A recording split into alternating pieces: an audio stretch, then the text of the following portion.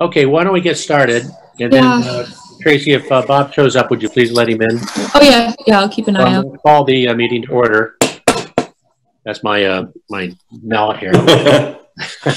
Um, and thank you for everybody showing up and participating. Uh, and I think we, we, uh, absolutely need to start off by just thanking all the, our frontline medical and emergency workers who are doing such a wonderful job.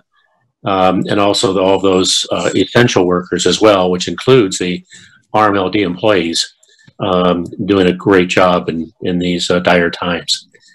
Um, so I hope everyone's been staying safe and let's proceed, uh, to the meeting. Um, I'm, uh, this is where we usually, um, um, read before the meeting. This meeting of the Reading Municipal Light Department Board of Commissioners is being recorded via Zoom for distribution to the community television stations in Reading, North Reading, Wilmington, and Lynnfield. The RMLD Board of Commissioners recognizes the importance of hearing public comment at the discretion of the chair on items on the official agenda as well as items not on the official agenda. We ask that all questions or comments from the public be directed to the chair and that all parties, including members of the RMLD board, act in a professional and courteous manner when addressing the board or responding to comments. Once recognized by the chair, all persons addressing the board shall state their name and address prior to speaking. It is the role of the chair to maintain order in all public uh, comment or ensuing discussion. Uh, Phil, would you mind being the uh, board secretary today? Yes, I'm the board secretary for the, for the whole year. Don't Oh. you know that? Oh, I didn't realize that. That's that's wonderful. Yeah. I'll have to ask that question again. Um, could uh, everyone uh, please identify themselves because we're on the Zoom and it'd be good to do that. Uh, I'll start. We'll go through the board and then um, everyone else in the room. I'm uh, John Stempeck, uh, Chairman of the Board of Commissioners. I'm Dave Hennessy, Vice Chair for- of the Commissioners. Uh, Phil Dave, Pacino. board member, sorry. Go ahead, Dave. Phil, Uh, just Dave Talbot on the board. Yeah. Well, Phil Pacino, the senior member of the board. Yes, indeed. And Secretary for the year. Yes. We have a CAB member, please. Yeah, I'm Vivek Soni, uh, CAB member from Reading.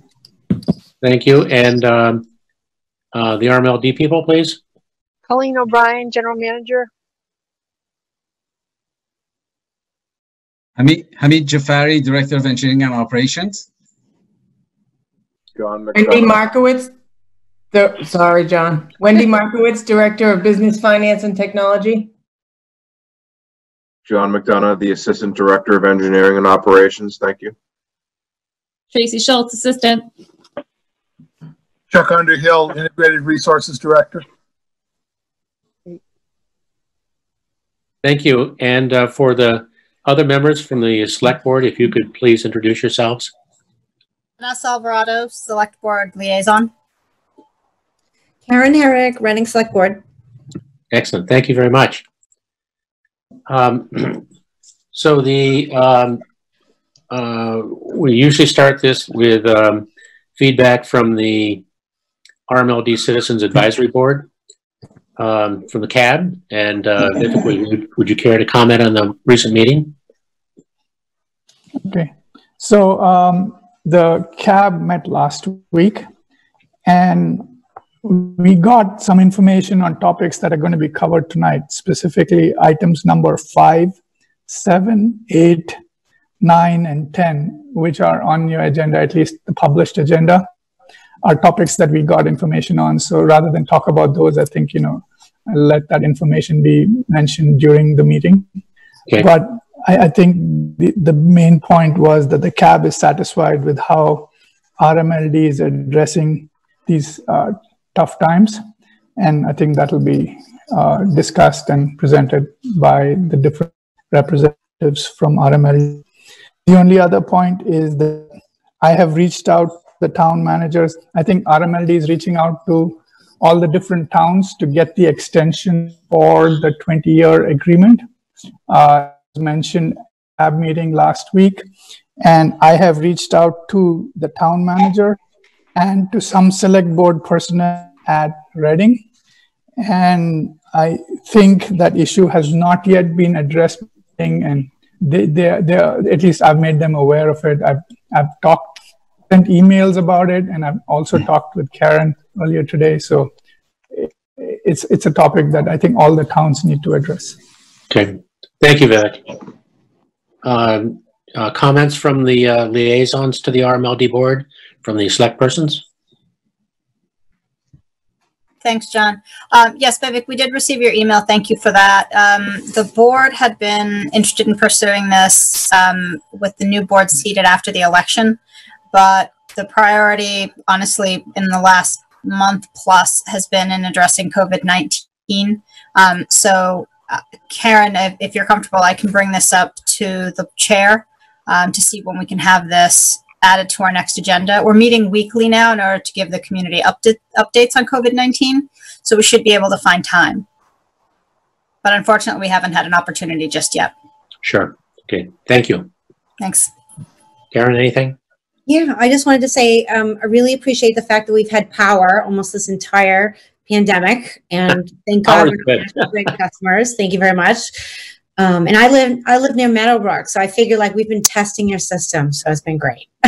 Especially with the fire at Meadowbrook, right? Exactly. Um, I did want to let you know that uh, my last meeting as a Reading Finance Committee member, I did um, directly ask uh, our town manager about you know, in the event that um, RMLD wanted to issue some debt going forward, um, we would Reading would absolutely be supportive, and then we'd bring it to town meeting. And um, the interesting thing is that you would um, I don't know all the ins and outs, but the um, I know you have a fabulous debt rating, and so does Reading. So the either one would work.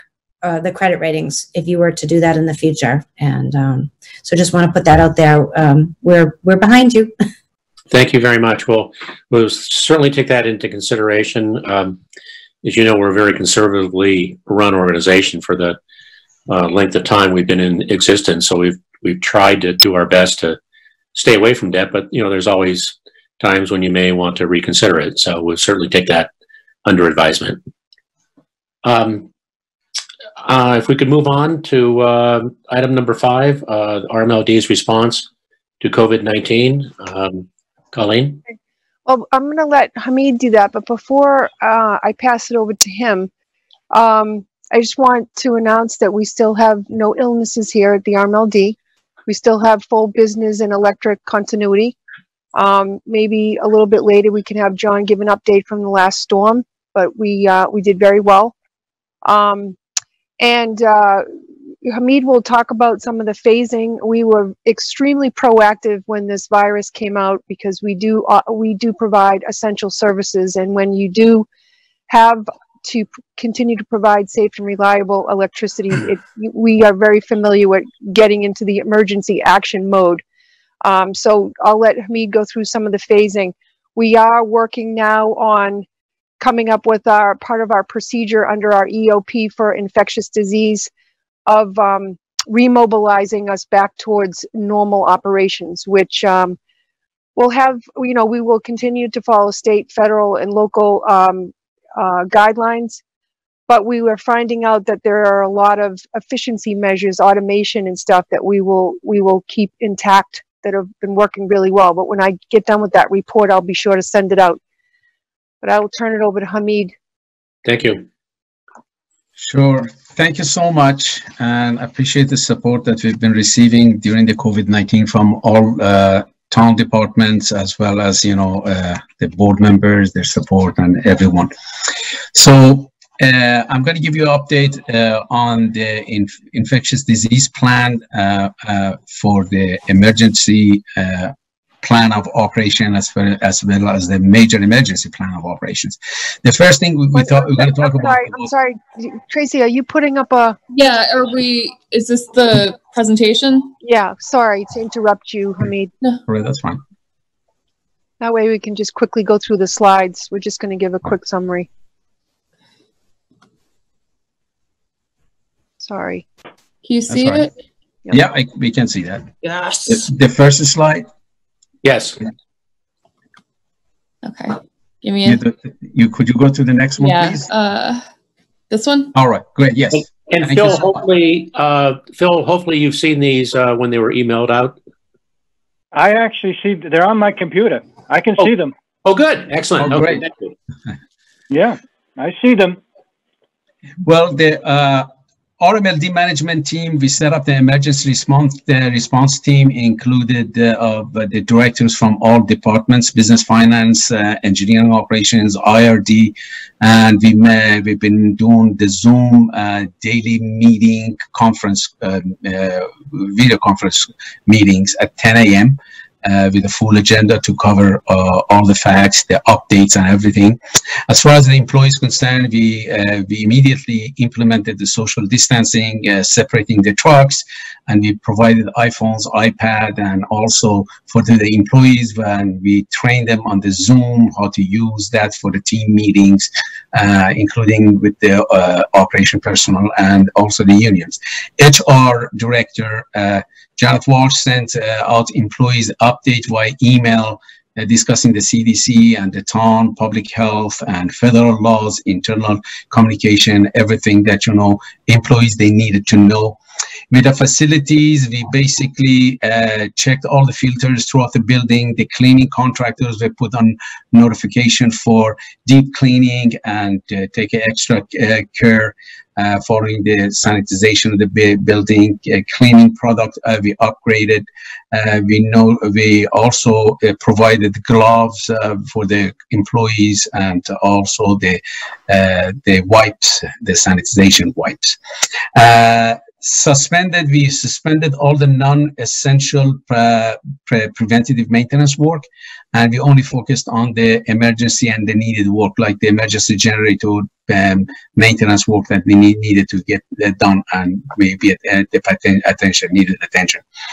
Uh, building closure per board uh, of health which uh, board health uh, recommendations and guidelines were followed and we, it was passed on to the employees.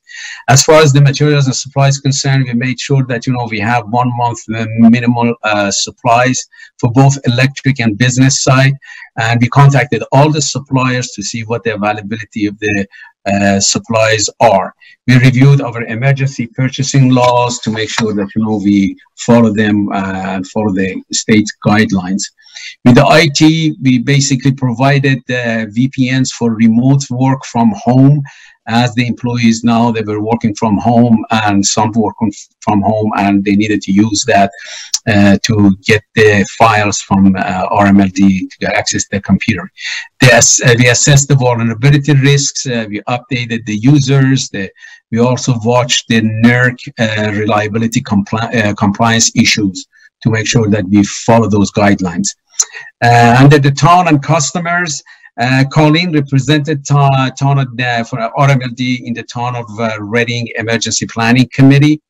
We provided press release, the constant con- uh, contact uh, using the uh, uh, Zoom in order to uh, demonstrate and in order to have the board of selectmen and provide report for all four towns. Notification to all the customers uh, for operations. Uh, uh, we, we, we did that. The operations also switched from proactive to reliability projects to maintenance directly related. The ones that you know they were immediate threat uh, uh, and they, they, they were threat to the reliability uh, and only emergency uh, uh, services and also for the service connects and disconnects. These are the ones that we we prioritized and we focused on. Uh, the uh, hardship on moratorium, uh, basically, which uh, the, the law was pertaining to uh, property taxes. Uh, although that you know we the, we we work with the customers on the payment plans, we cannot uh, you know we don't have the rate doctoring uh, to waive or discount. Also, the discounts are not a late fee. However, we work with the customers in order to come up with a payment plan during these uh, uh, tough times. All the businesses and electric continuity they they are intact as of April 13th. The next slide, please. Uh, okay, emergency plan of operation and major emergency plan of operations was uh, reviewed in detail. We prepared emergency plan of operation for which was for greater than minimum staffing and also major emergency plan of operation which is less than the minimum staffing. We established all electric uh, and business continuity functions and established remote work capabilities for the staff evaluated the plans and also moved from large capital to maintenance uh, work. We maintained uh, all on-site uh, contractors, to overhead, one underground. They're qualified contractors. They have a knowledge of the system, just in case that you know something happens, so they know exactly what what's expected of them doing. And we have a good. These are good contractors. We've had good, great uh, experience with them. Uh, we maintain the facilities crews and all, uh, also the stock persons on site physically with the social distancing, obviously. We reviewed all the union contracts uh, for flexibility and we, we established the Zoom uh, with uh, unions uh, for uh, possible side letters, but we didn't need to really do that. They've been very cooperative as far as you know the contract contract concerns. We reviewed previously identified and um, maps of the town with critical infrastructure. We updated them basically on those maps. We updated the town hall uh, uh, uh facilities, uh, police departments, fire, water, sewer, uh, pumping stations, all the nursing homes, uh, assisted living facilities. All of those were identified on the maps just in case there's an outage, how quickly we could, you know, put them, bring them back uh, to power. Uh, we reviewed the contingency plans for loss of the substations, uh, just uh, check the substation maintenance, update all the substation equipment. We made sure that they're testing or they're up to date, which they are and also Wilmington substation, which remains on a closed watch. As you know, that's our oldest substation. So we did the single contingency analysis just in case the substation is lost or something happened to the substation, how we could support the load. The next slide, please. Uh, so these are the we define some phasing. The, the phasing in order to uh, you know to define which group and team up the people. So in each phase, so we can continue the electric uh, and business continuity.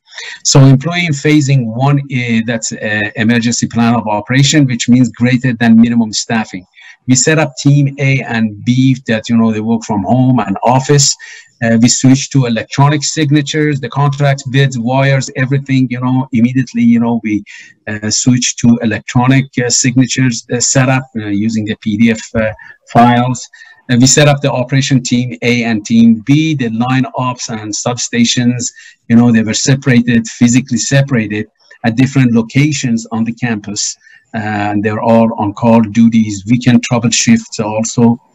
Saying engineering, uh, we had five we have five control authorities, which three they're working from home and two physically uh, distance with the field, and they're ready uh, to for calling duties uh, if something happens. So they were all set up uh, nicely, and it it's been working out great. The next slide, please. The phase two uh, was again emergency plan of operations with minimum staffing and the business team A and B started uh, implementing all the Adobe signatures, preparing their residential commercial payment plans. Uh, we developed revenue impact study and for the rate classifications. The operations and engineering team and A and B, they started rotating. So one week at home, another week at work and uh, that's been working out really great. The team that they're working from home, they're on call that they could report to work uh, in a short uh, uh time period if they called in. For the storm response, team A and B, they physically, the distance uh, report to uh, locations and trouble response restoration assignments are clearly defined.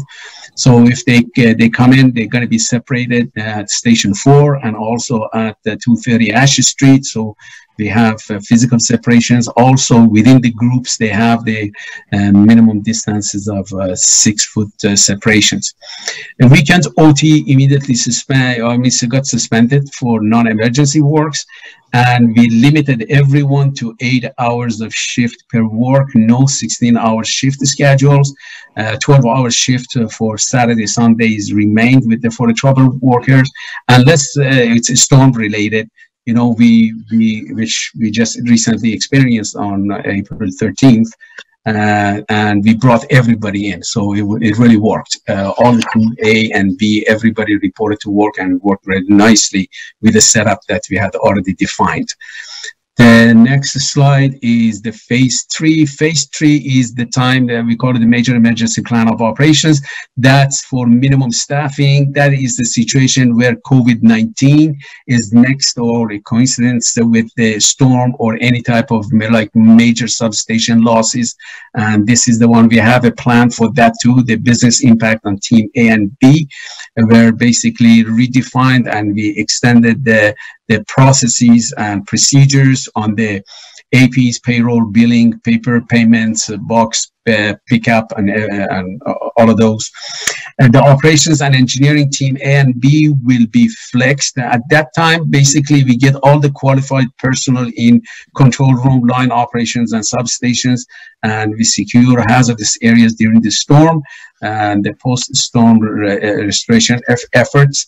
Uh, we also contact the mutual aid, which we recently signed a contract with uh, uh, AP and NEPPA. And we get every help that we can get.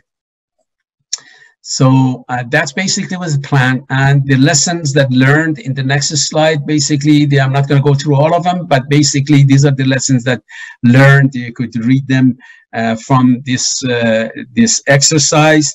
Uh, basically, we're dealing uh, on a daily challenges with public health and the laws, uh, interpretations, and applicability. And we've been in contact, you know, and getting uh, second interpretations from lawyers, from you know, that making sure that you know we interpret the laws correctly.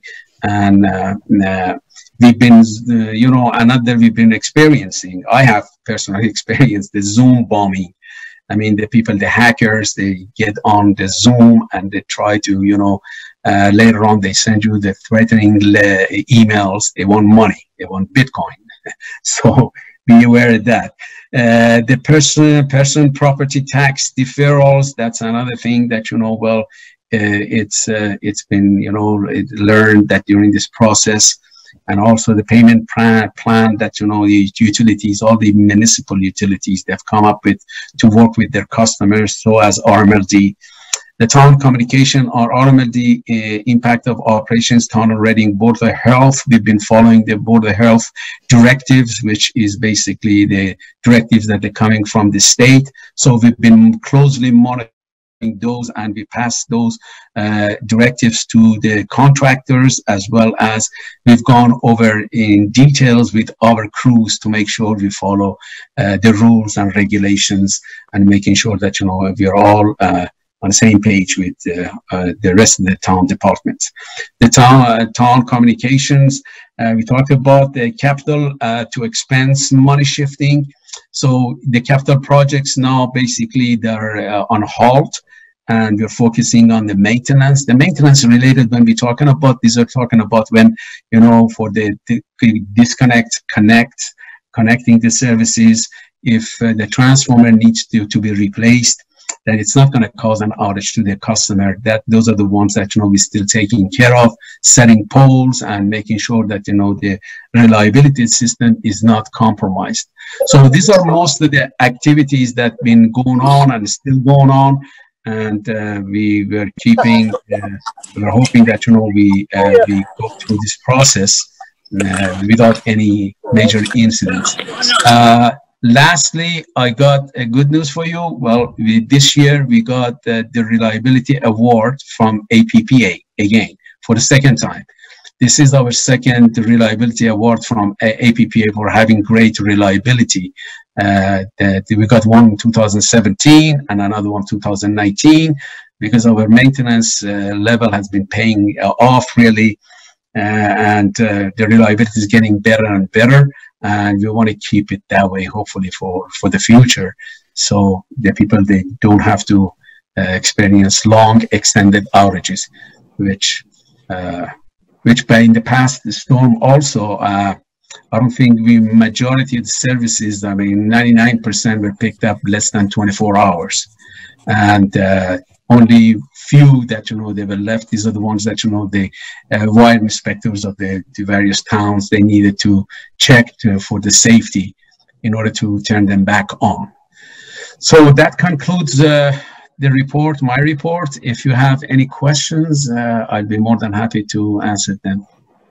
Thank you, Hamid. That's uh, that was an excellent uh, report, Thank and uh, clearly uh, I had seen the the uh, feedback on the award that the RMLD was given for reliability, uh, which is uh, uh, pretty spectacular. That in a relatively short period of of time, we've been able to, uh, with the extended efforts, be able to uh, secure such an award. Are there any questions for Hamid? Um, I do, and I, I would just echo what, what, what John just said, Hamid. Great job. And um, I had a question of when, when did you first implement the, you know, sort of these health policies with respect to when people are out in the field working and any social distancing or other sort of measures out in the field or, or at the site? When did that first happen? It was right at the beginning of uh, this COVID 19. That was back in March that the uh, social February distancing. 28th. February Yeah. 28th, you started implementing measures to keep people safe. Right. Or- And that involved something like that, right? Right. That involved any construction activities happening, any utility-related construction activities. Right. And that was back in February. And um, I saw that the, there was a similar order from the town governing non-utility construction. That was about two weeks ago. Yes. Can I chime in on that?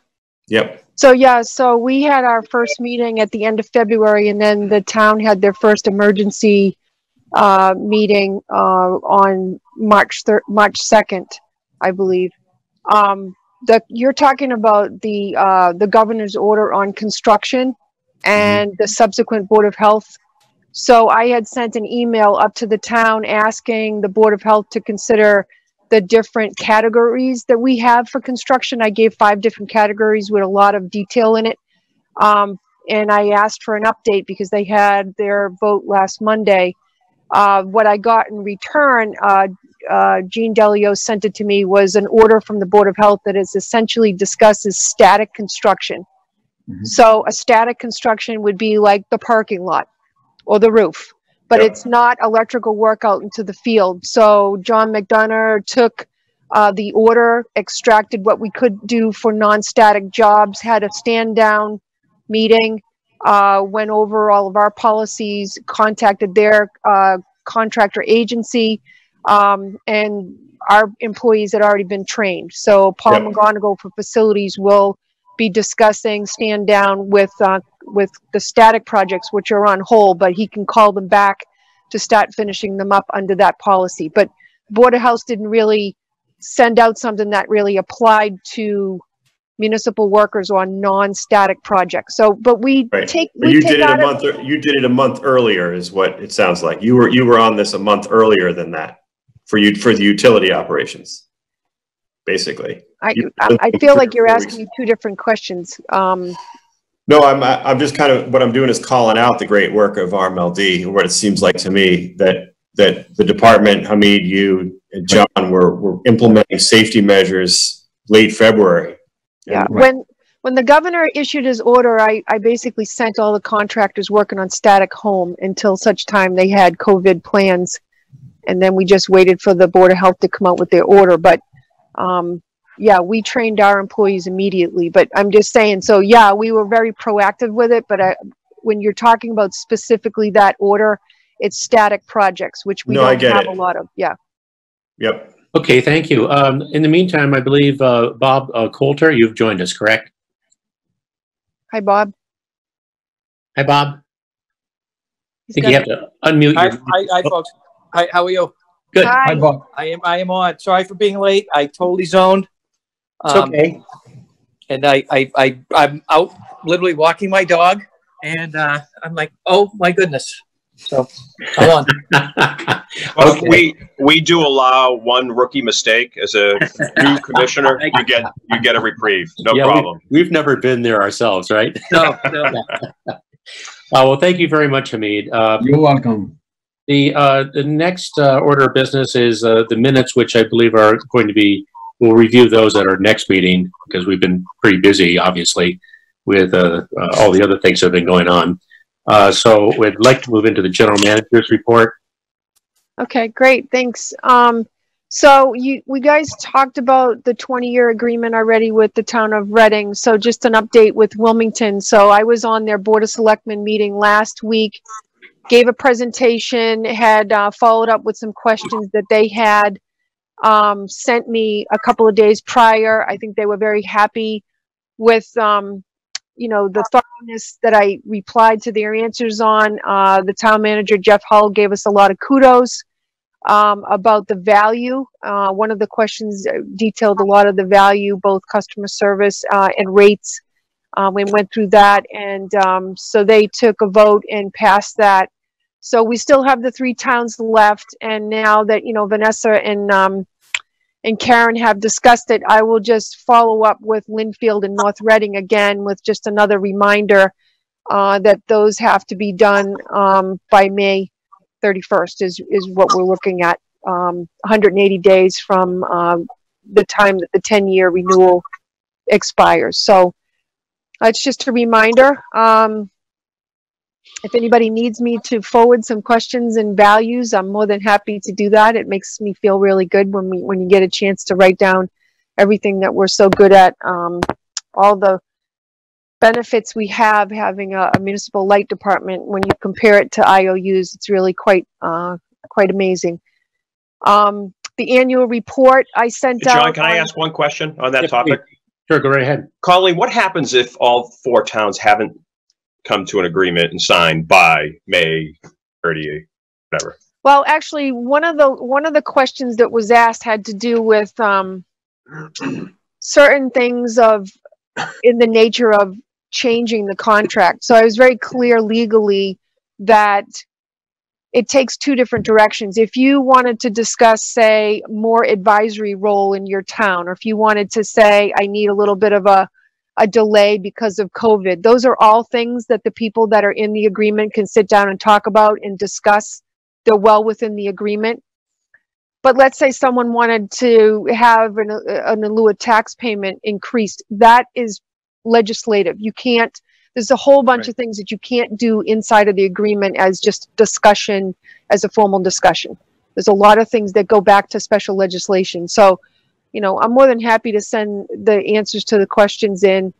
Um, but yeah, so if somebody needed a little bit of time because of COVID, I think if we got everybody together, that we would still have to have a formal meeting, but I think it, it probably would be fine. Thanks. Good, thank you. Um, so the annual report I sent out, uh, last Friday, so even though the town meeting got postponed, it was still on the warrant to have the presentations.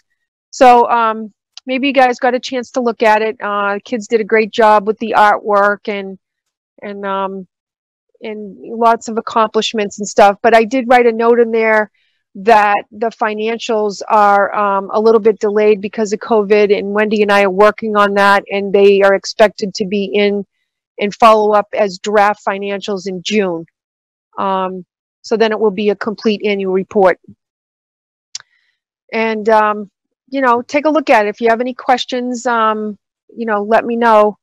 And try to make it pretty self-explanatory and give statistics and profiles and stuff that will help, uh, you know, make it a uh, worthy read. So, but uh, Wendy was still on for Ju- June, correct? Did we lose Wendy?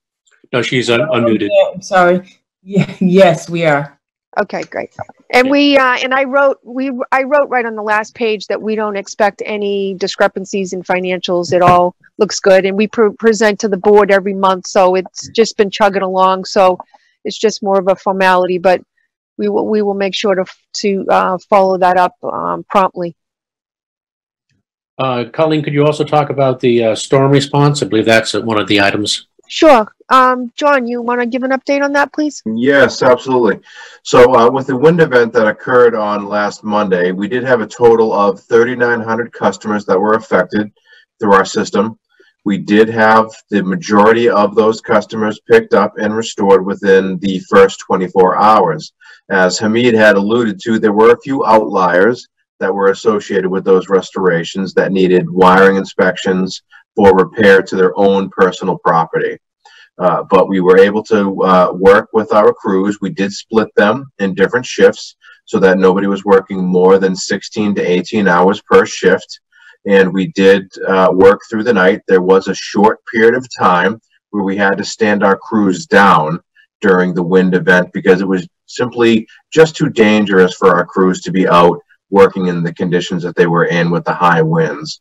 We didn't want to put our employees into any type of situation where they may have gotten hurt. So we did have a short, brief hour and a half stand down while our crews were able to work on other things, but not get themselves into a dangerous situation. But all in all, we did have a full complement of our staff working the storm the entire time. We worked through the night and through the next day to make sure that everybody was restored in a uh, timely and safe manner. Thank you, John. Um, my understanding uh, is that uh, uh, the RMLD, on a comparative basis, uh, was far faster at restoring power than many other, whether they be municipals or IOUs in the state.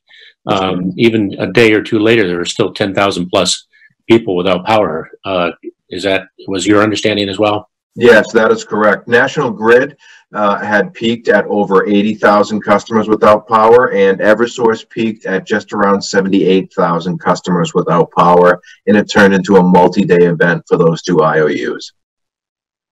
Thank you. I can attest to that. I was in the storm room, so we were in for two days. Oh, is that right? That's right. We have got an inside guy there. Oh, yeah. Yep. So we had a multi-day event from Sunday through Tuesday, and that was in the North Shore, and it extended into Wednesday in the South Shore. Very, very big event. Wow. If, if I can add something quick, John, is that okay? Please go right ahead. So sometimes uh, we may have some residual folks out of power. Just remember that when our troublemen and, and we, so during storms we have bird dogs, which is uh, qualified engineers, technician, people that are available that will go out and identify whether a wire is Comcast or whether it's electric. And John's right, he called the stand down, and then I sent emails out to all the police, fire, and, and town managers telling them that we would just be identifying hazards and and then you know to eliminate the electrical hazard put out detour signs and then we would come back for restoration efforts afterwards. But sometimes if um, trees take down services and it rips the service out of the house uh, people have to understand that sometimes when we show up we cannot reinstall the electricity until they get a, a, a the um, an electrician and a wire inspector to do a um, inspection Right. because it's just physically not safe. So there's always going to be a few that take us a few days to work with uh, with the wire inspector to get those back up. We're all back up with them now, John, are we? Yes, 100% we're restored. Okay, great. Great. Excuse me, Colleen, on, on your incident command structure, your control center, when th- they were put into action, what was the plan or how did you guys handle their, in, the inside workers? Were they remote or were they socially distanced inside the building? How did you, how did you handle that approach? They were socially distanced inside the control room. We actually had three people in there, so they all had six feet distance. Yes. Two control room uh, operators and one community relations. So usually when the storm hits, uh, Joyce, who has the liaison phone, she has the GM liaison phone. She's sitting there working with them and tweeting out the information because we we try to mitigate the amount of calls that come in so that they can dispatch and work with the engineers for switching the circuits. But so there was never more than three people in there with proper social distancing. That's correct. That's correct. Any other uh, questions? If not, I'd like to uh, suggest that we uh, move to number nine, integrated resources first, and then come back to the payment to the town of Reading update, if that's okay with everybody. Uh, Yes. Chuck, I think you're. You, you have to unmute Chuck, I think. There you go.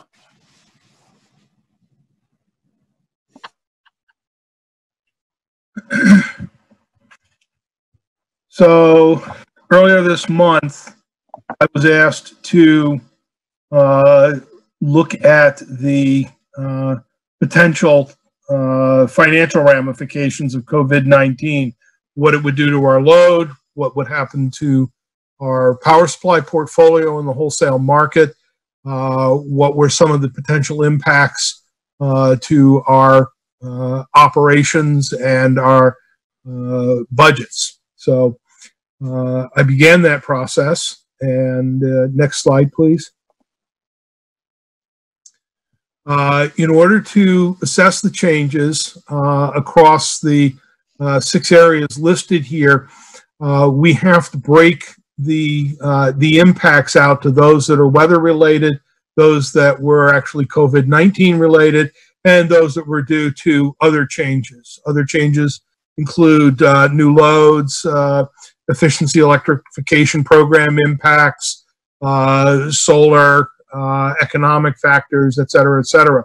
So um, we've begun the process of reviewing uh, the information relevant to RMLD for uh, how those impacts uh, are occurring and seeing if we can uh, focus down on COVID-19. Um, if you take a look at the next slide, please. Um, we also went out and got uh, some information uh, as to what is happening with other uh, entities that are in this uh, business and also in, uh, at the time, uh, impacted areas. It included Italy and other APPA systems.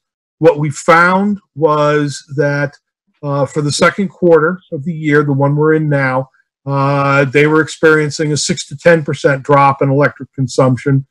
And for the rest of the year, the anticipated drop uh, was going to be about 7 to 9% uh, in electric consumption. So, uh, to make life simple, uh, we focused it down to an 8% uh, load reduction for RMLD for the remainder of 2020.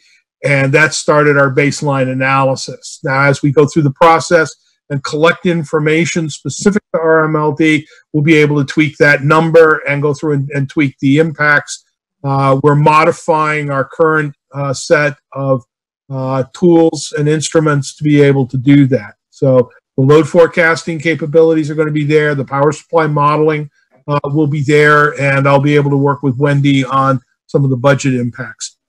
So if we take a look for the uh, remainder of the year, quarter two to quarter four 2020, uh, anticipate selling 520,524 megawatt hours. And that's based on the load forecast for 2020. An 8% reduction is about 41,640 uh, megawatt hours. So that's what we would expect to lose in wholesale load. Uh, slightly higher reduction in retail sales because of the distribution losses. So next slide, please. So we went back and we pulled out three years of historic data, uh, or two years of historic data in the budget, actually. And then um, those are the bars. And if you take a look at the uh, powder blue line going across the top, that is essentially the uh, 2020 uh, forecast. Uh, the first three months are as forecasted, and then April through the remainder of the year, we reduced uh, that by about 8%. Uh, if you look at the red dotted line, those are actual results, January, February, and March. This is what I mean by being having to take out, for example, weather-related effects, because January was the warmest January on record, and February was warm. March's sales were down. So we need to go through and discount those impacts uh, as we experience each month in order to isolate the COVID uh, impacts. So uh, next slide, please. So we made some assumptions for uh, being able to at least build a base case. We started with the 2020 budget as our baseline. The load forecast was prepared using normalized weather impacts and known and measurable changes pre-COVID-19. Uh, the revenues are anticipated on normal sales and expenses are anticipated on normal operations. Uh, and we used the uh, planned capital investment from the 2020 budget uh, or for the uh, five-year budget for 2020. Uh, so we went through and we looked at financial mitigation capabilities. Um, we can use the rate stabilization and deferred fuel funds. Uh, we have the ability to defer or avoid uh, expenses and capital investment. And uh, then we can look at the impacts of uh, a rate adjustment if we needed one for the remainder of 2020. Uh, so these were just all establishing sort of base case opportunities for us. Uh, they did not define a specific path that we would be looking at. So, what is unknown at this point? Well, until we get into it, we do not know the magnitude of the COVID 19 event. We assume the 8% reduction. We don't know the duration. We've assumed through the end of calendar 2020 for this exercise. So, uh, next slide, please. So, we looked at load impacts on the power supply budget. That's the 8% monthly reduction. Um, as we get information uh, from the various classes, we will be able to fine tune what uh, some of those load impacts look like month to month. We looked at the impacts on accounts receivable and uh, we set up a process where we are looking at the 30, 60, 90 day um, outstanding balances on the receivables. We're also looking as we uh, get to our discount days, the, the last day of the prompt payment discount, uh, how many customers are paying the bills and, and taking advantage of the discount. So we'll be able to see how much the sales are down, and then we'll be able to see uh, from the expected revenues what we're actually seeing come in. So it's kind of a two-step process for doing that. Um, we're also looking at the impacts on accounts payable we have the ability to rerun the power supply budget based on uh, updated market pricing and on uh, the resources that we have in the portfolio and the loads that we're experiencing. Uh, we're also able to look at shifts that may occur between the capital and the operating budgets depending on uh, what uh, Hamid is able to do uh, during this period if his construction uh, capabilities are cut back uh, by the state or by uh, uh, recommended social activities and operating capabilities. So the COVID-19 impacts might have an impact on the credit rating. That's sort of at the end of the day to see how we're doing but we do note it as a potential uh, impact and something that we'll just track. Uh, and we have impacts on the RMLD programs and services. For example, we offer residential audits. Up until COVID 19, those included a site visit as one of the delivery options. That's off the table right now. So we are switching to uh, a video audit and a uh, online uh, audit process that we're looking at uh, in order to be able to continue to deliver services even with social isolation, isolation and the inability to get to uh, customer locations to physically collect the data.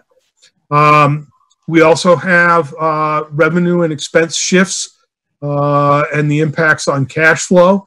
Uh, and at the end of the day, this all sugars off to what we may need for a rate adjustment if the other activities that we're looking at uh, sort of fall through. So uh, next slide, please. So power supply impacts very quickly. Um, and, and I put the math in here. I apologize. I thought I had fixed the, the line down below, but we took a look at uh, what the original budget was, which was uh, $46 million uh, divided by the 520,000 megawatt hours, 3.5% losses, translates to a retail energy price of 8.56 cents.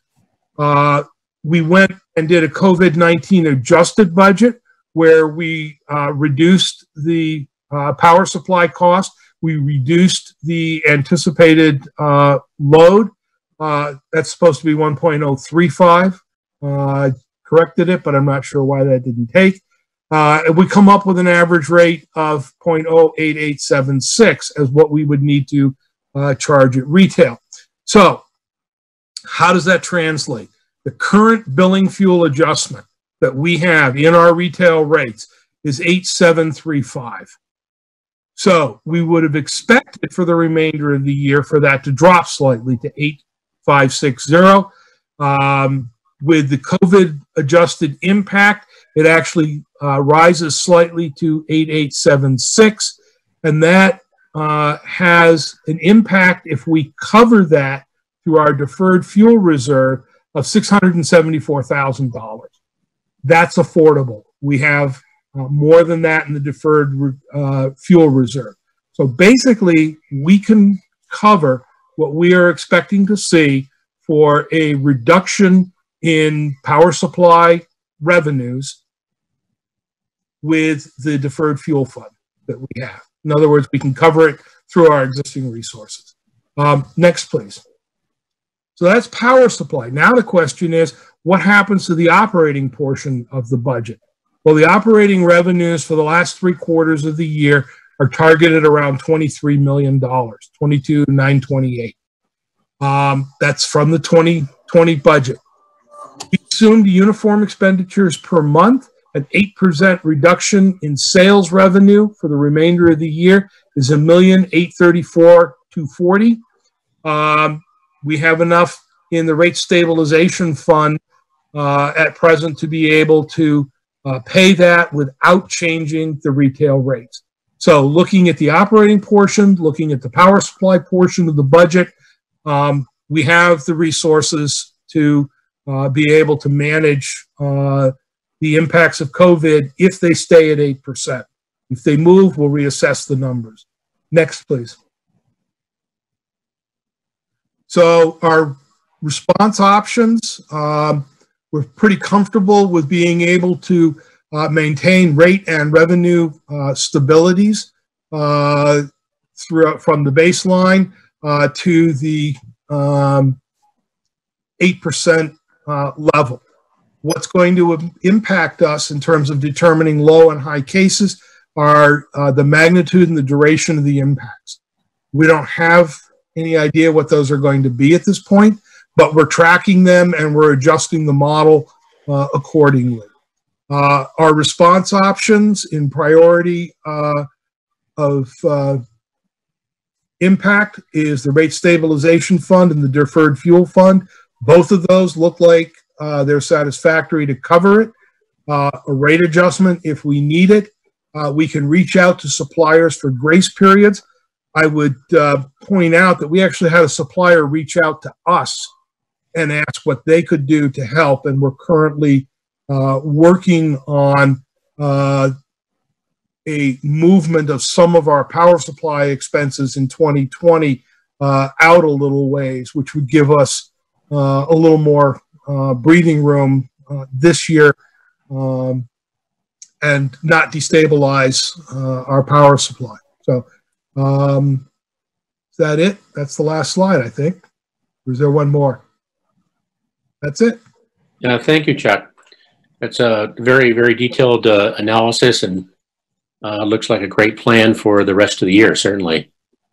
Do you have any questions for Chuck on this?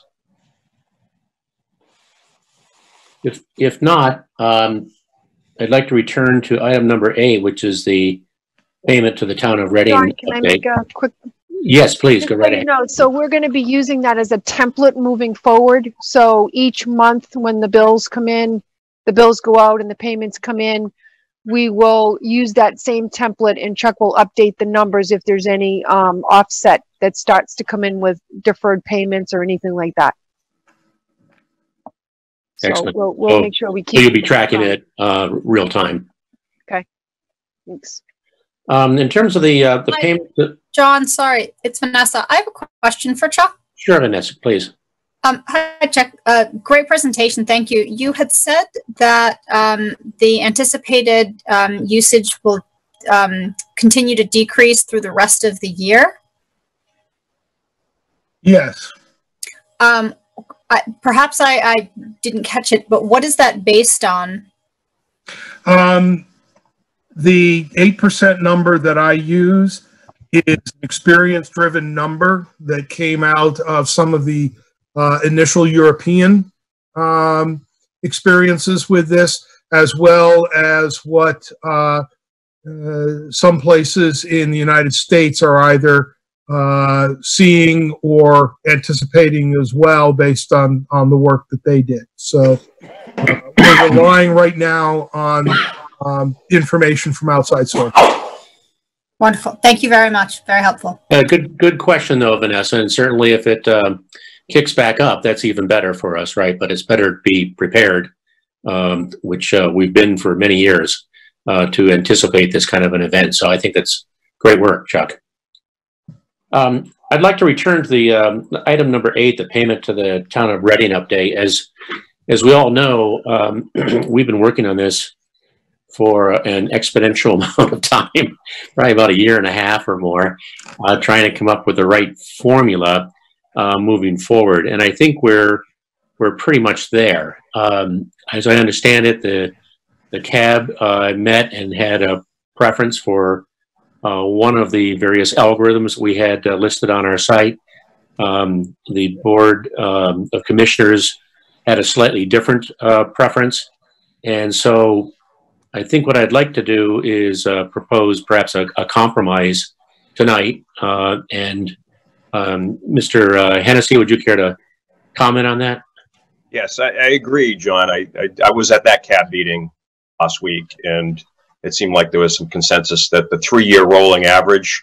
In fact, I think a lot of us are starting to feel like that makes a lot of sense. That um, if we're calculating on kilowatt hour sales and it's based on a three-year rolling average, that there wouldn't be any spikes um, for the other, up or down. That it would be more moderated on an annual basis. So I could, I'd like to make a motion if I can, Chair. Please, please go ahead. Okay, for the years 2021 and beyond, that the pilot payment to the town of Reading be calculated annually based on a three-year rolling average of kilowatt hour sales at the rate of 3.875 mils. And that the GM has the authority to adjust the payment as necessary in times of crisis or other reasons to maintain the fiscal stability and reliability of our MLD. Could I get a second on that, please?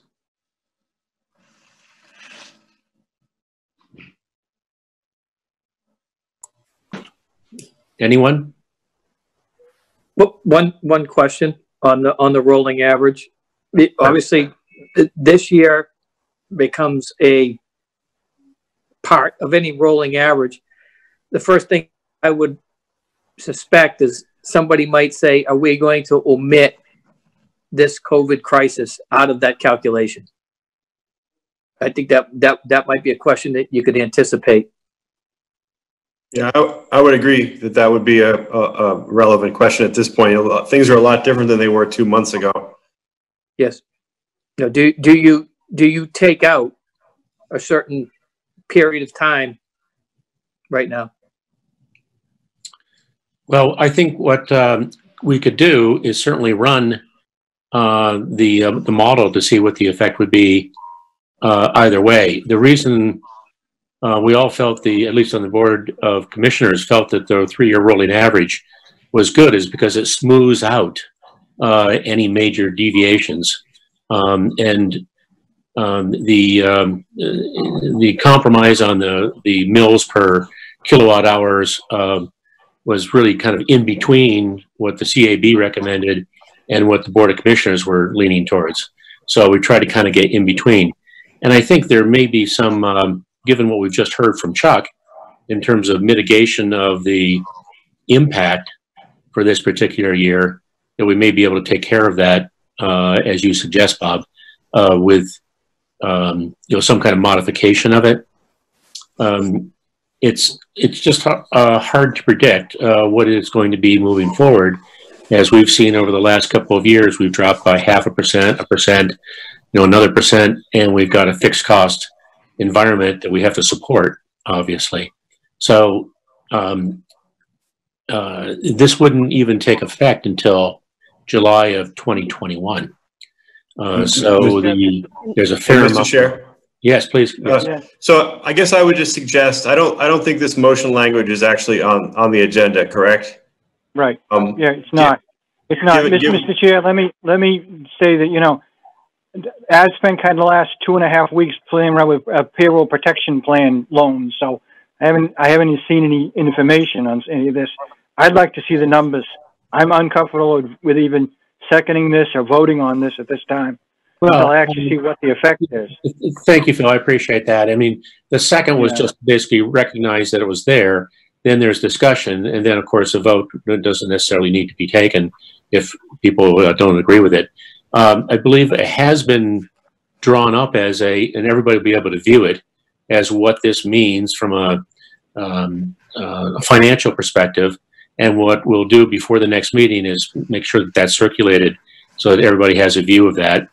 And um, at least from from what I've seen of it, uh, it seems to be an excellent compromise in terms of what we're trying to do. Uh, we have to. I agree, I agree, John, that the three, the three-year rolling average is better than pegging it to any particular year. I think that's something we all said, I think that was last meeting or the one before. Yeah, Given that we just heard Chuck say kilowatt hour sales might be down eight percent, I do think it's prudent to um, put this motion on maybe for the next meeting and then with, have the language be there and have, the- have the analysis done. Sure. Of, of what the numbers would look like, factoring in Yeah. or out, as Bob said, the- you know, how, what are we doing about this, this very once in a century kind of sales? I'd like as the terminology, as you know, is uh, it's called a black swan, right? Um, Yeah. and, uh, so I, I, I mean, I, I absolutely uh, agree with that.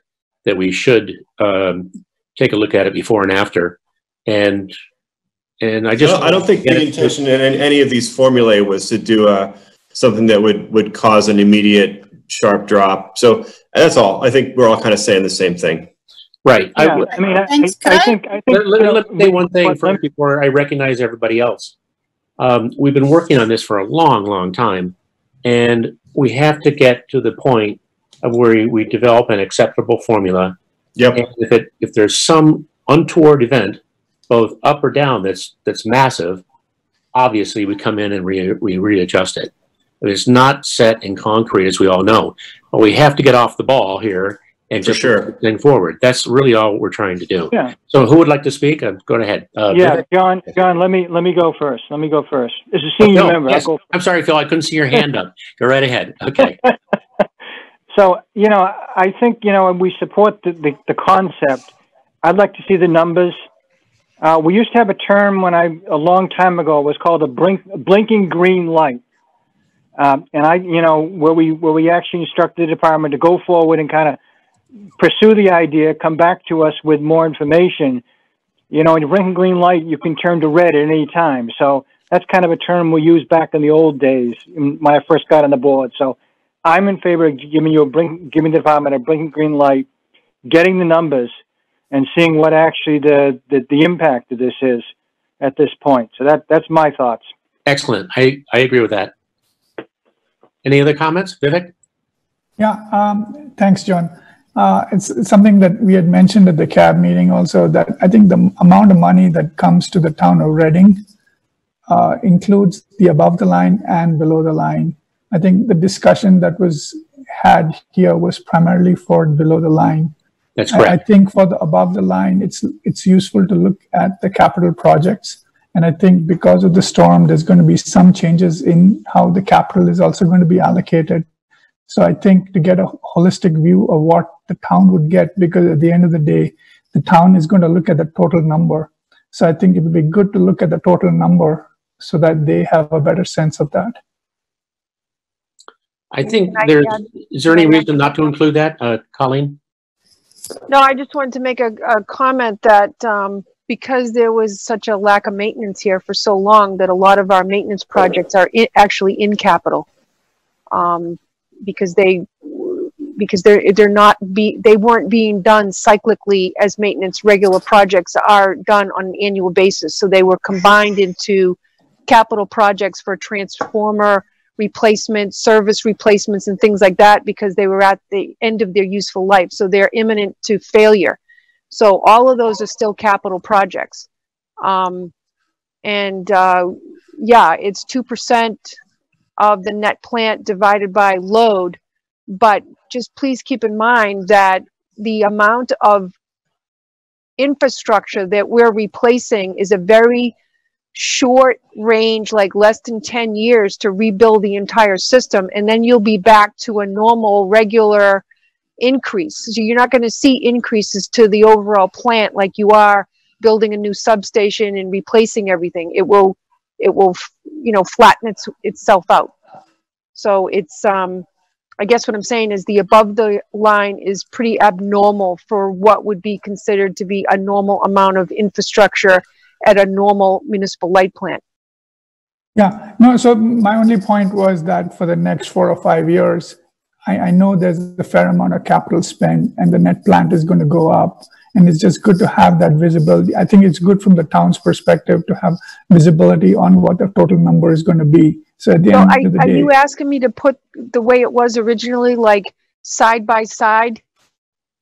Is that what you're asking? No, We I don't used- think we so. used we used to have uh, the numbers done so that you could see below the line, above the line, and then a, a total. Is that what you're asking? Uh, Colleen, what I'm suggesting is that I think the town would like to know what's the final number that the, the town is going to can plan for in the future. So, so the, whichever way you can convey that information, I think you can say, Uh, Vivek, uh, if, if I could uh, interrupt, thank you. Uh, the towns have been asking us for this for about two to three years now because they want stability moving forward. And what we're trying to explain to the town is when a black swan comes by, all bets are off. So we do our best to try put a formula in place. And I think the formula, by the way, from the formula we were just talking about, the town's going to be very pleased with anyway, um, because it's it's it's a really good compromise. And I think that one, they'll be pleased with it, but we can't spend the bulk of our meetings into the next year uh, talking about what the formula should be. We've wrestled with this thing so much. So let's go around. I agree with you one more time. We'll look at the capital uh, in terms of how much is allocated, et cetera. But it's going to be done in a context of a very difficult year and trying to predict. You know, if I had a crystal ball, if we all had the crystal ball predicting what was going to happen, you know, we wouldn't be at this meeting, right? We'd be on some yacht down in the Caribbean right now, perhaps, you know, without having that stock market drop out from our, underneath us. So, so I'm just saying, saying that uh, we've done how many different variations on a theme uh, of what this was? Uh, quite a few to this point. And what I'd like to do by our next meeting is have this circulated, have everyone raise whatever questions they would like, and then let's come to closure on it so we can move forward. Okay. Uh, so, so John, yeah. John, I? I, I- I'm sorry, I'm not asking for any new stuff to be done. All I'm saying is whatever information already, because in the past I have seen b- both the above and the top line re- reported. So it's I not will- the I first will time. do that. It's I will always, do it's that. been reported in the past. All I'm saying is just show that. Colleen, Colleen has pledged to do that. Yes, Wendy and I will put it back in the original format, but people call and they're like, I can't see it on the computer, I can't print it out. So everyone's gonna get a poster board with all of the things on it, and you can Thank you. add it up and we'll Thank you. send it out, okay? It- The Because last we, one, the last one was an eye chart. If you went onto our website, yeah, I'm sorry, I apologize. I will put the totals back in, Vivek, Vivek, I understand what you're saying, but please, if you can't see it on the computer, you're gonna have to just enlarge it, because I, I can't get everything on one sheet, okay? But I hear what you're saying and I will take care of it, right, Wendy? Yes, absolutely. Okay, sorry, and- Vanessa. If I may, the, the simplest thing to do might be to put uh, Dave's motion, you know, on the agenda for the next meeting so that there's a motion language and then accompanying tables in the board book that says what that motion would, would produce with both the below the line, which is what it calculates, and the above the line. So that there's one thing out there, because I do, I agree with you, John, we're very close. We've worked on this a long time. It's time to move on. But there's one thing to look at and then if there needs to be a tweak made, you know, we can do it um, at the next. Very good. I agree. Okay, so the three-year average, that's the only option with the totals above the line. And we're going to do some analysis and send out another option looking at the COVID section of reduced kilowatt hour sales. Are we all in Right. agreement? And 3.875 mils, which is halfway in between, halfway in between Got it. both. We will take care of it.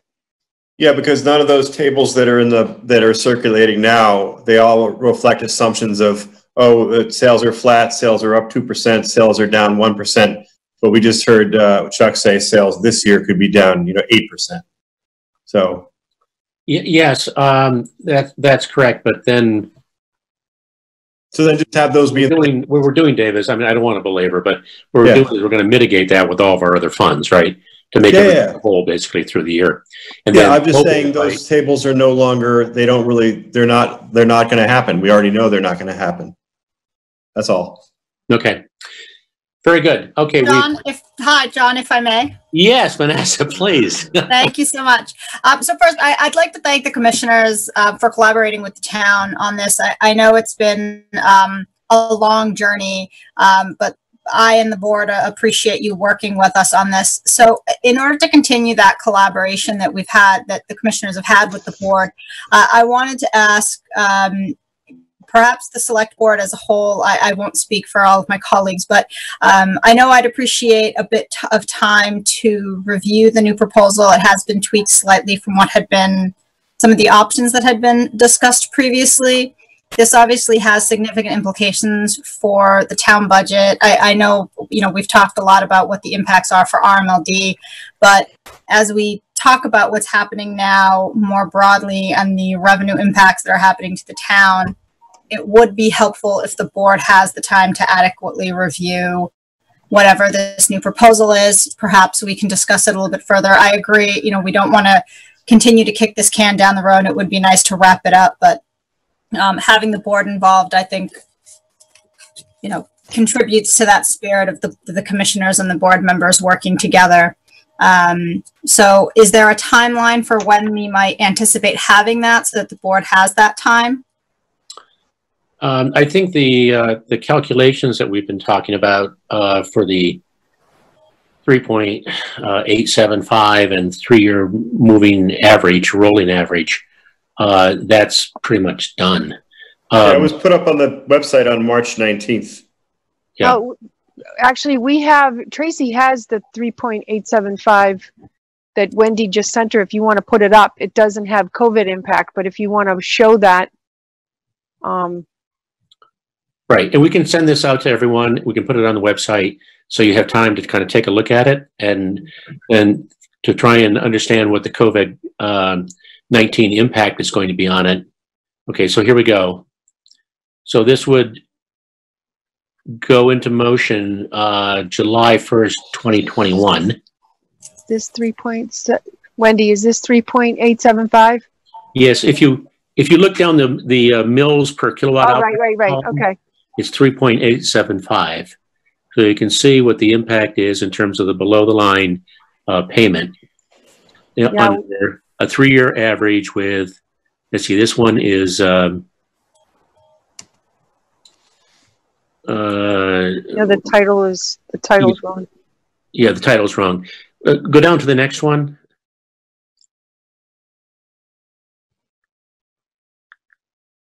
Okay, right here. If sales remain flat, so it goes from today's of 2.48 million up to 2.549, 5409 a million. That's based on flat sales. That was based on, that's what it says is based on flat sales. Yeah.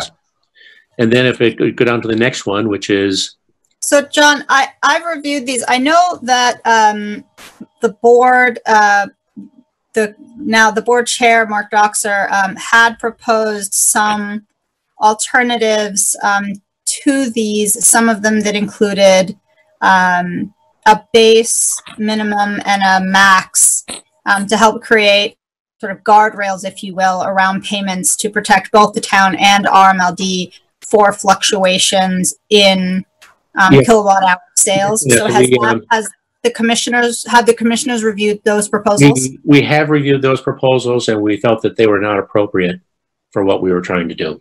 Yeah, and more than that, to add to that, John, that we had this two months ago, and the CAB reviewed it, and the CAB didn't. Uh, the CAB voiced uh, that having a revenue-based factor was not appropriate. So we we did have that process. Correct. Um, Well, I mean, Mark did a tremendous amount of work on that. We appreciate that.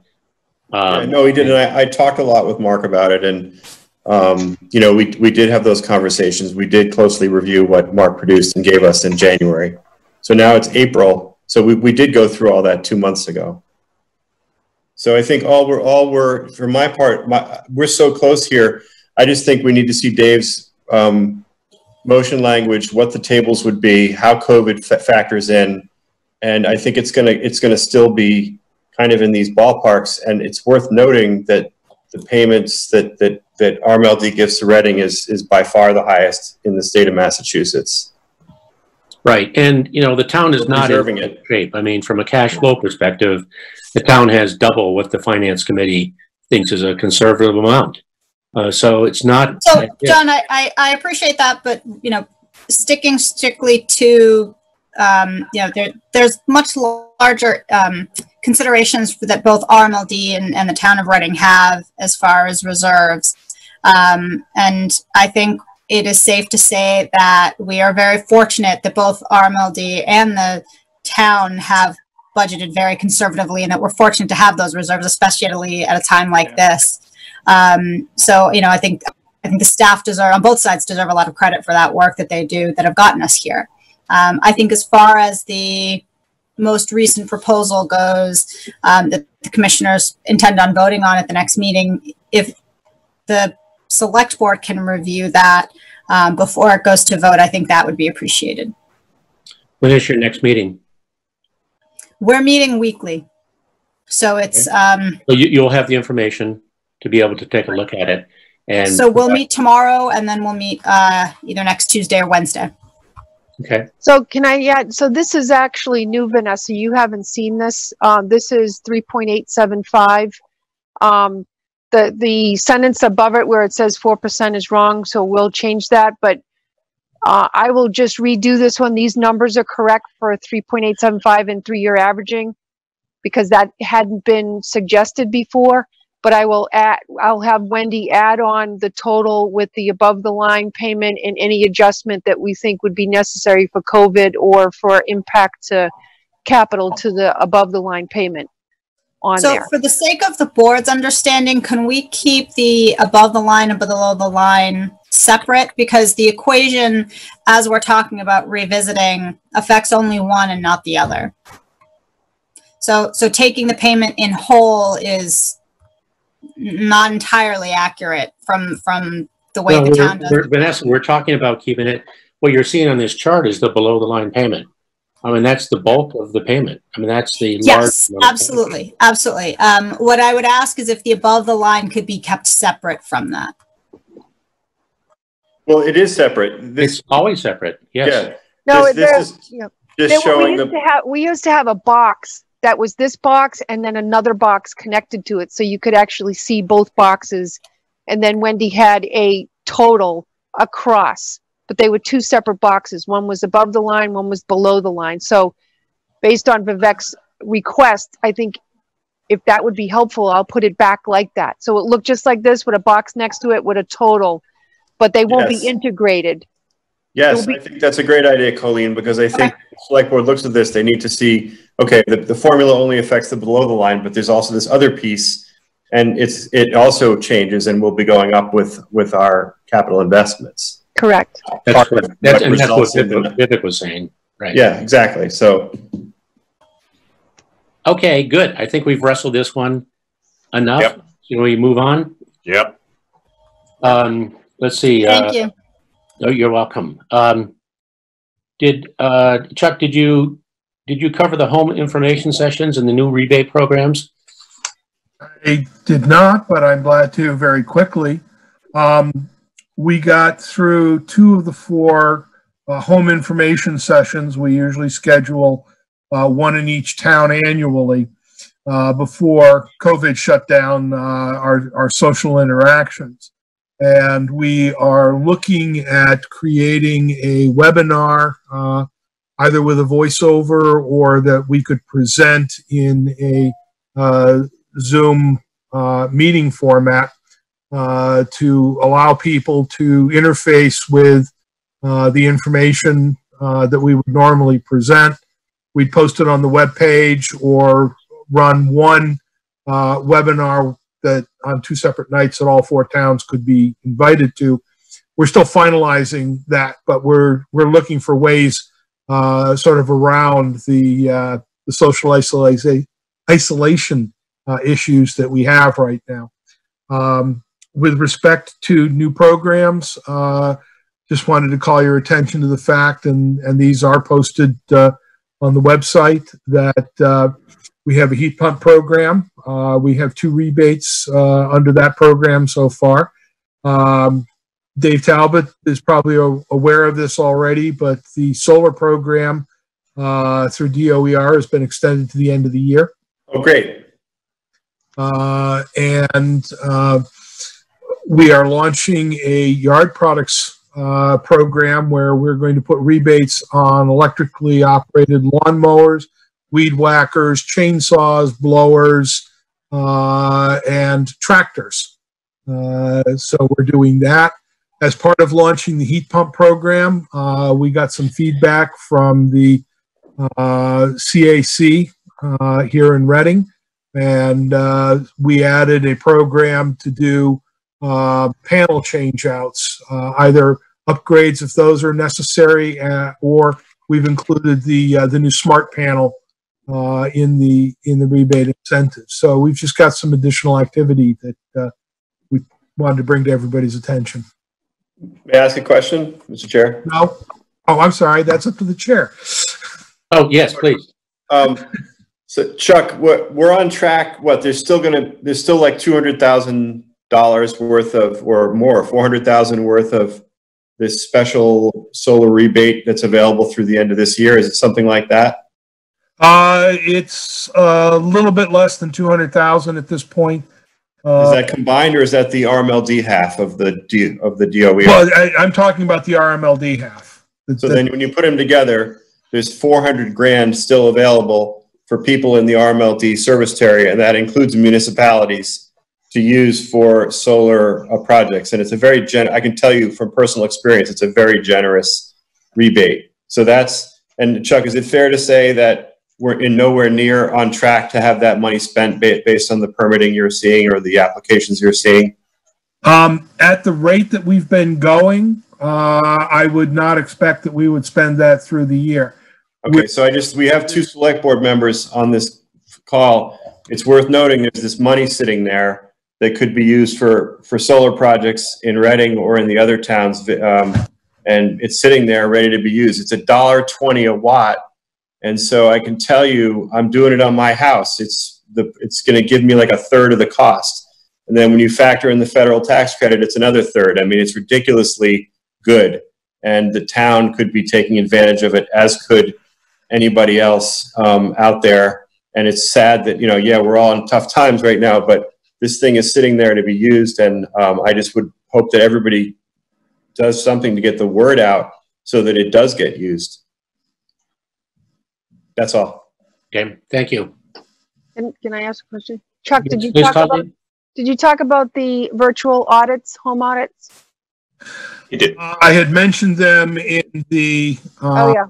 COVID assessment, but uh, what we're doing is going through a comprehensive assessment for alternatives to deliver the efficiency programs uh, in the current and uh, anticipated going forward uh, social isola- isolation uh, environment that we're working in. So we're looking at virtual audits. Uh, we are looking at uh, solar. Uh, in addition to the incentives that are offered through DOER for behind the meter solar, I would remind all four communities that uh, we're looking at uh, solar uh, program to put it out on existing public and large commercial facilities on a subscription basis, similar to the Solar Choice One and Solar Choice Two programs. So we're we're trying to be as active as we can um, and see what we can do to to keep things going. Great. Thank you, Chuck. Could we move into the engineering and operations report, Hamid?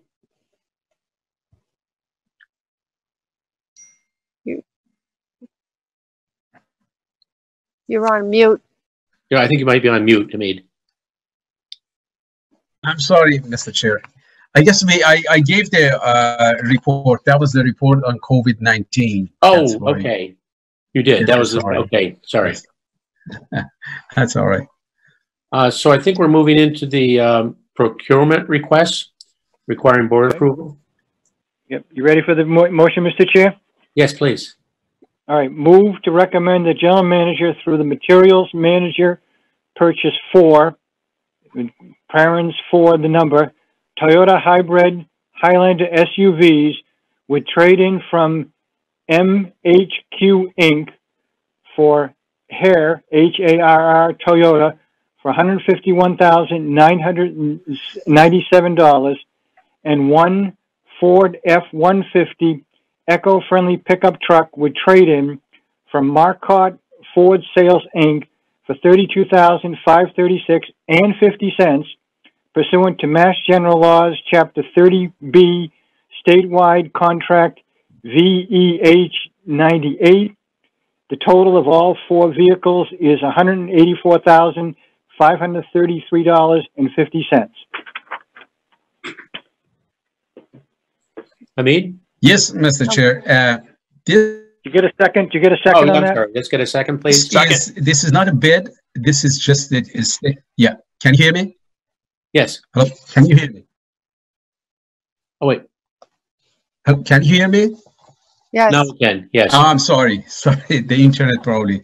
Yeah, this is not a bid. Uh, this is basically we got codes uh, from the state master vehicle list. State it's a state contract. So we sent the bid to not the bid the co- the uh, request for code to uh, many dealers, and only four responded. So as a result, uh, you know, we, uh, we had a specific uh, specification too. Like for the SUVs, we needed uh, the cubic feet space uh, anywhere between 66 to 87 cubic feet. And uh, the ones that they're currently in the market on the PHEV and BEV, uh, they are basically uh, very small. They're not big enough for the engineers so they can put their tools and everything that they need into the, the truck. Uh, so, uh, so You dropped out. the, the total, uh, let me go, yeah, let me go over the budget for you. For two, 2020, we put in for $75,000 and in 2019, we budgeted $50,000 for a pickup. So the total is going to bring it to 125,000 but the the price of these five vehicles total together is 140 184 533 dollars and 50 cents which means uh, we're going over by 59,533.50 uh, Can, can I add in that? and, and the vehicles they were uh, carefully selected yes Mr. Chairman? yeah i'm sorry Yes, So, um, I think one of the parts that we're missing is, so we have a thirty point, uh, electric vehicle, um, program. Pretty comprehensive. And one of the parts of the program is the fleet transition.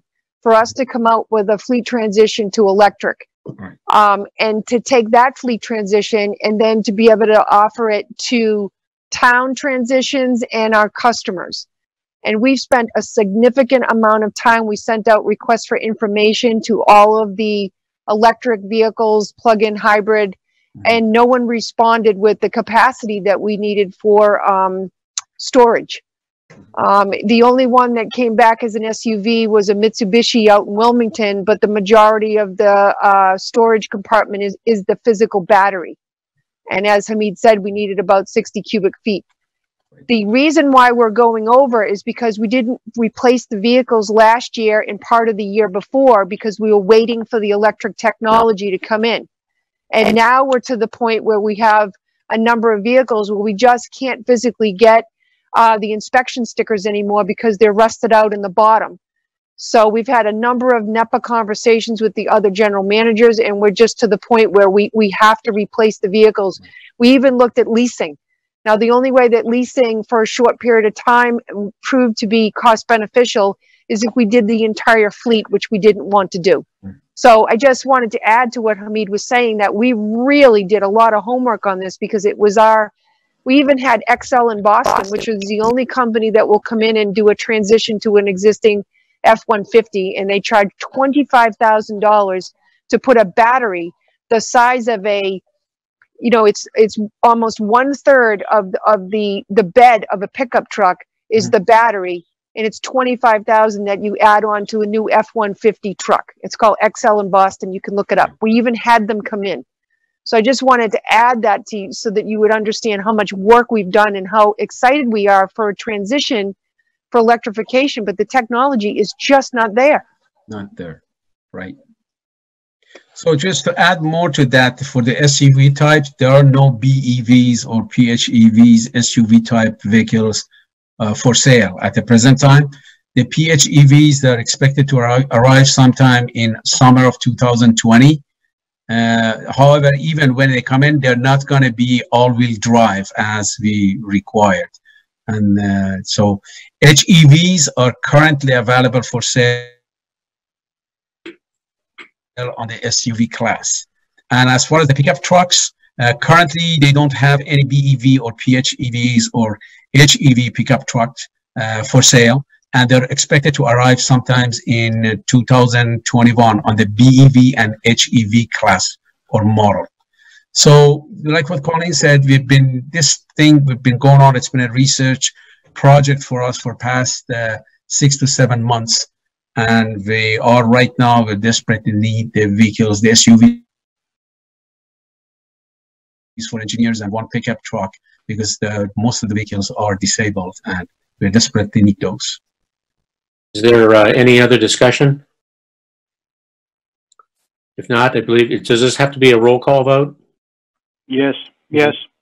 Um, John Stempeck, aye. The Hennessy aye. Talbot, aye. Mr. Coulter, Pacino, aye. Let it be noted there was five zero in favor. Yeah. Thank you. Thank you very much. Thank you. Yeah, I think Thanks for all the work you put into that too, Hamid, Colleen. Yeah, it's really it's really unfortunate we couldn't go electric on it. I just yeah, it's really a shame. But It's a wicked bummer. It's really, we really thought that it was going to be happening. And then we had the program all set up of what we were going to offer to the towns for transition fleet and customers, but maybe we can try again next year. okay. Thank you. I think we're into uh, just the general discussion to our next board meeting, Thursday, May twenty first. Yep. Is that Yes, that's reasonable fine with for me. everyone? Fine with me. Okay. Uh, just, just one update, Mr. Chairman, when you get a minute. Yes, ready? please. Go right ahead, Phil. I have, I have emailed to me this afternoon are all the, uh, the warrant to be signed, to signed uh, virtually or electronically here. So I guess I am the, uh, the first one to have this done. So I got six emails with the copies of the warrant. And I also have a, an email that was sent to me probably about an hour ago, about an hour and a half ago, to get an electronic signature. So just to update you, uh, the process has changed. So hopefully it all works right for me tonight. Before I go home. Excellent. Welcome to the 21st century, right? That's wonderful. Colleen, Colleen's been promising this for a while, so she finally Oh. got it done. Yeah, that was my goal. No more chiseling on a rock. It just took me a, little bit. you'd be Um, surprised what people get done when, when, uh, you know, when things get tough. Everybody works together. It's awesome. The um, follow-up um, board meeting is, is scheduled for June 18th. That's getting a little bit further out. Uh, So perhaps we, uh, we just note that in our uh, next our next meeting to make sure that people can make that or need to change it. Uh, for the CAB meeting, May, uh, Mr. Talbot? Yep. Excellent. And June is Mr. Coulter. Excellent. Thank you. I think we're, uh, we're finished. I have a, any other comments? Yes, please, Bob. Yeah.